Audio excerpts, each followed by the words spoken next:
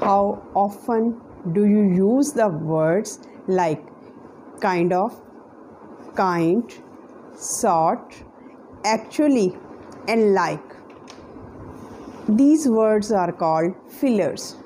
If you notice and listen, native speakers, professionals, educationists, and other professionals, you notice and you observe that they don't use these words.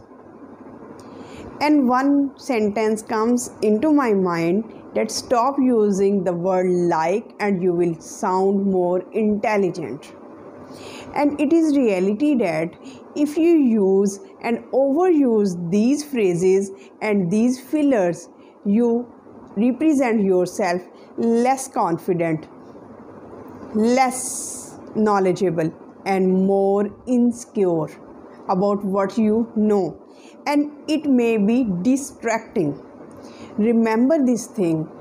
Good communicators professionals educationists and native speakers they don't use fillers because they know what they exactly want to communicate. And they are precise in their speech they are not verbose. And what is meant by verbose? Verbose means using too many words when they are not needed. And now if you use them you seem to be more teenager. Because teenager use these kind of fillers. And one sentence you may say that it cost me like hundred dollars. Here the word like doesn't mean anything. You can use it cost approximately hundred dollars. And it sounds correct. And often you observe that teenagers usually like to say like. For example and we like came home. And we like watch TV and in this way you represent yourself and you are sounding like less professional less knowledgeable. So here are my some tips which will help you a lot to be more professional in your speech and to be more concise in your speech. And you will not focus on these kind of fillers.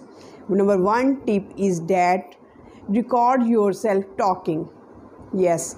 Record your voice what you are talking and then play back.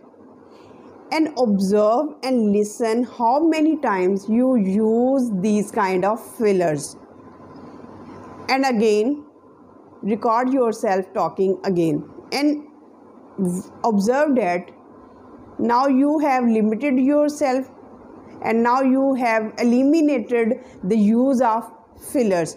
This technique will help you to eliminate these kind of fillers from your speech and you will be more concise you will be more pre- precise and you will be more authentic in your speech. Number 2 tip is it's okay to be to pause to have a pause.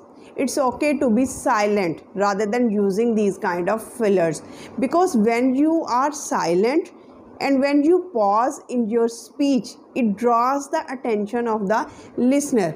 The, the listeners attentively listen to your next words.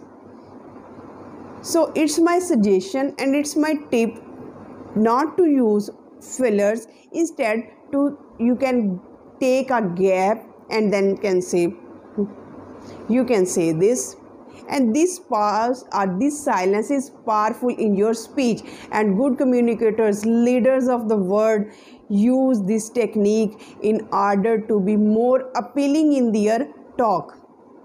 Next the final tip is that you should have to work on your english vocabulary. Yes improve your vocabulary. Because the more words you know the the more concise you will be and the more effective you will be in your talk let me know in the comment section do you sound professional or do you use these kind of fillers and are these techniques helpful for you and which kind of technique you are already following in your speech. Thank you so much. Stay happy, stay blessed. Have a nice day.